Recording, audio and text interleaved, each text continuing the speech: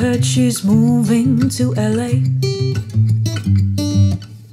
Was there nothing that you could do to make her stay? Well, that's the thing. I'm not just writing guitar parts when I play the guitar part.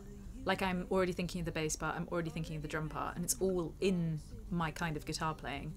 So it's not like um, it's not like maybe some other songwriters who are literally only writing the guitar part while they write the song. Like I'm definitely writing all three parts just in the guitar, if that makes sense.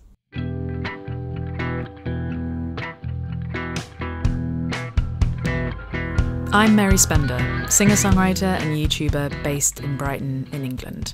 It's been a few years since I was last in a pro studio recording my previous release, Lone Wolf, and after the last 18 months of a pandemic and the world being locked down, I felt like it was time to get back into the studio again and record some of the songs that I've been writing over this strange time, as well as a few others that up until now have never made it to the recording process.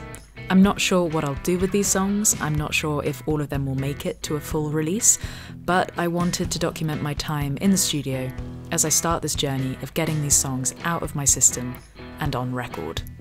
Welcome to my songbook.